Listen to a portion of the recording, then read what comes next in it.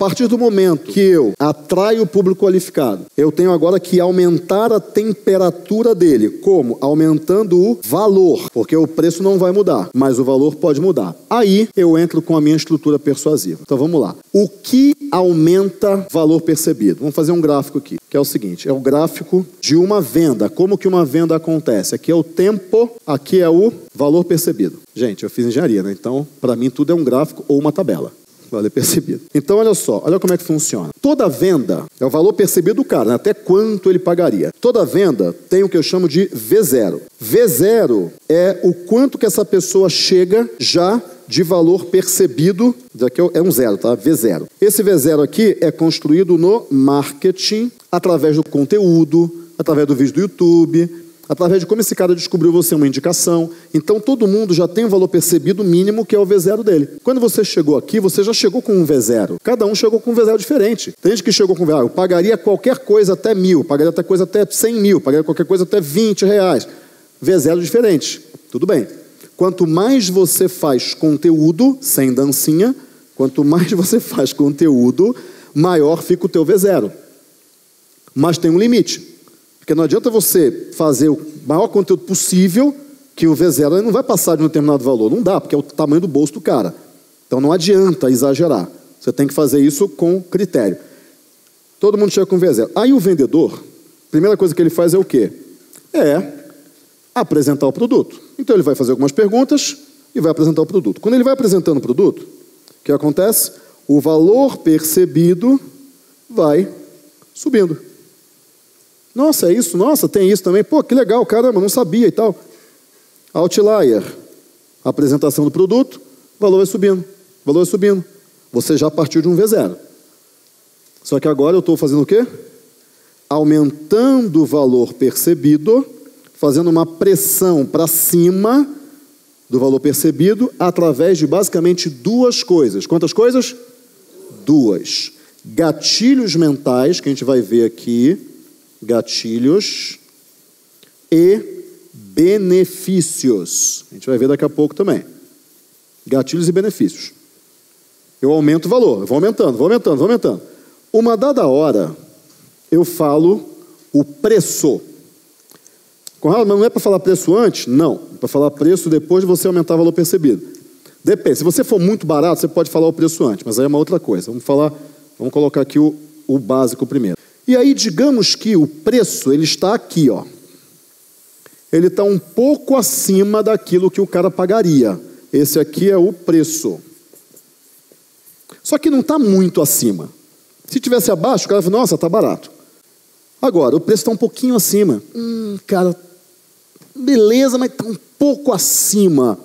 E aí fica aquele dilema. Então, tá, tá, tá, tá, meio acima, tá meio acima.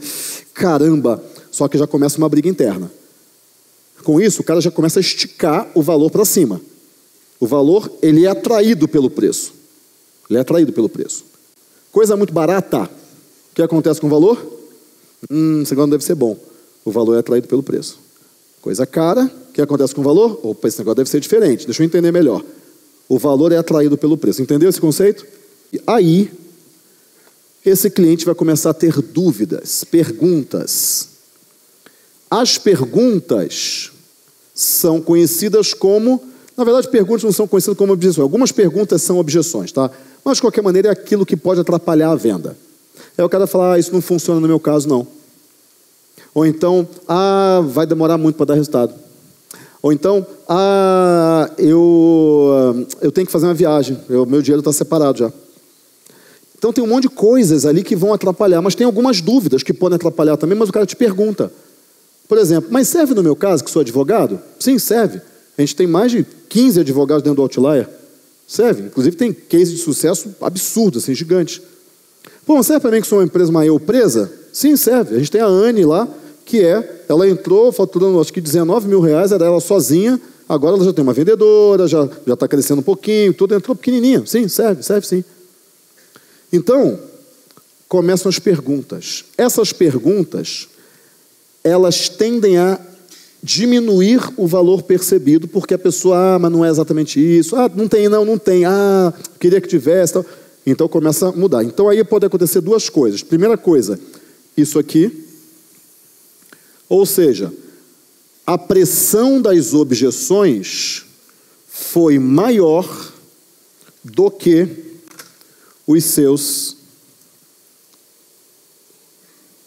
argumentos. Então o valor, foi, o valor construído foi destruído. Ou pode acontecer isso aqui. A maneira como você responde às perguntas faz com que o valor aumente. Ou seja, a pressão das perguntas, dúvidas, objeções foi menor do que os seus argumentos.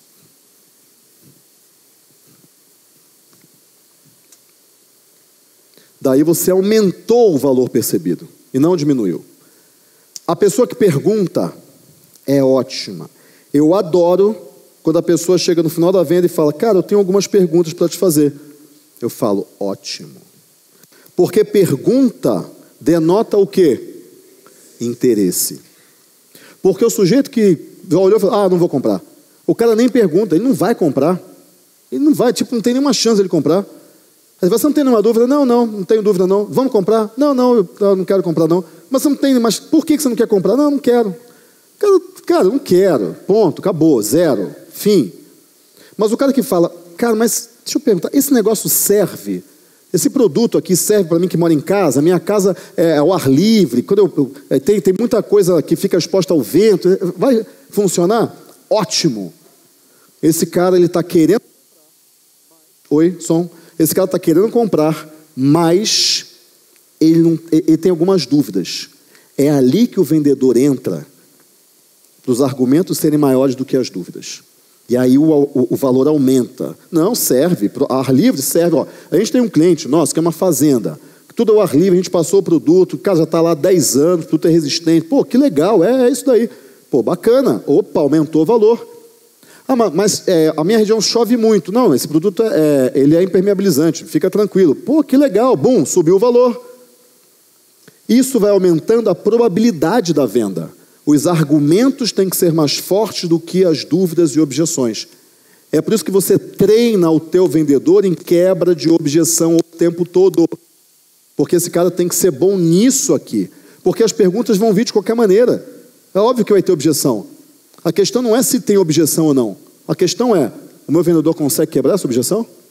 Porque vai ter objeção. Não existe venda sem objeção. Pouquíssimas vendas não tem objeção. A maioria tem dúvida, dúvida, cara, mas sabe o que faz para mim e tal. Aí que o vendedor trabalha. Entenderam isso? Então, isso daqui é o que faz a venda acontecer. O valor aumentando.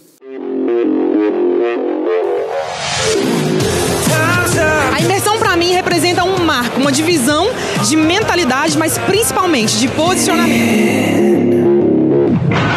Eu quero agradecer ao Conrado por tudo que ele está fazendo em nossas vidas também. Eu recomendo muito, muito, muito. Vale muito a pena, porque vai fazer uma mudança muito grande na nossa vida e na vida de vocês também.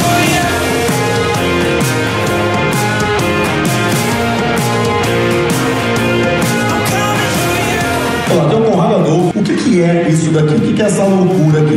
Deixa eu perguntar aqui para essas pessoas uma coisa. Vem cá, vocês indicaria esse treinamento para essa pessoa que está aqui recebendo esse vídeo, sim ou não? Sim!